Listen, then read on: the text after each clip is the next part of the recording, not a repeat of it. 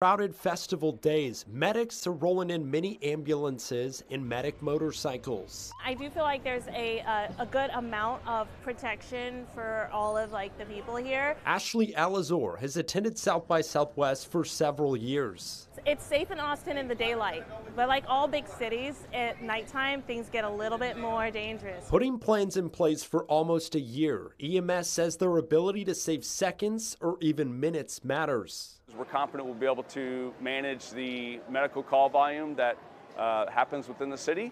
So um, we're excited. Last year, EMS responded to 81 incidents in this area, and this year they feel that they're even more prepared, but it's going to get a lot busier here. The music portion of South by Southwest will fall this weekend, along with St. Patrick's Day falling on a Sunday.